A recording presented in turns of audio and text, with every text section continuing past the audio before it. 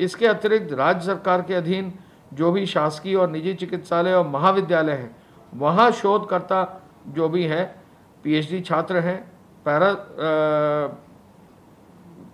Para जो para स्नातक छात्र हैं, विज्ञान और तकनीकी के, उनको भी अनुमति इसी प्रकार जैसे कि भारत सरकार के संस्थानों में होगी, वो दी जाएगी। तरण ताल यानी स्विमिंग पूल केवल खिलाड़ियों के प्रशिक्षण के लिए खोलने की अनुमति होगी, उसकी भी गाइडलाइंस जारी की जाएँगी। एक जो महत्वपूर्ण सूचना है कि कंटेनमेंट जोन्स के बाहर सिनेमा थिएटर मल्टीप्लेक्स जो भी हैं, ये सभी खोलने की अब अनुमति 50 परसेंट बैठने की क्षमता के आधार पर होंगे। ये 15 अक्टूबर से ये अनुमति दी जाएगी 50 परसेंट क्षमता तक। तो ये भी एक अनुमति मिल जाएगी। मनोरंजन पार्क और ऐसे स्थलों को जो स्वास्थ्य विभाग की गाइडलाइंस के अनुसार होंगे, उनको भी 15 अक्टूबर के बाद खोलने की अनुमति होगी। बिज़नेस टू बिज़नेस यानी जहाँ वन टू वन जो है प्रदर्शनी होगी, वाणिज्य कर विभाग, वाणिज्य विभाग भारत सरकार के नियमों के अंतर्गत ये भी 15 अक्टूबर के बाद खोला जा सकेगा।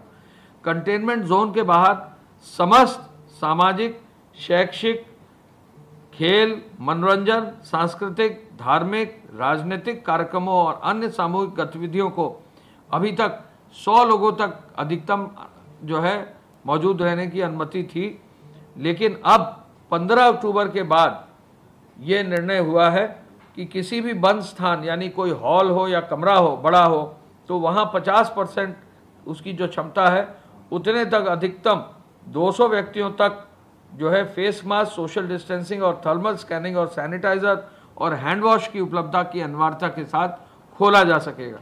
यानी कोई भी हॉल बैंकेट हॉल है, कोई कमरा बड़ा है, जो उसकी क्षमता है, उसके 50 परसेंट तक, उसमें भी अधिकतम 200 लोगों तक खोलने की अनुमति रहेगी।